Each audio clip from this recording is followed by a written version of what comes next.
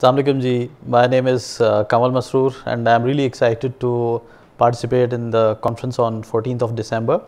So we'll be discussing about uh, fourth industrial revolution and uh, we are discussing about something about uh, internet on things, artificial intelligence and the blockchain management system.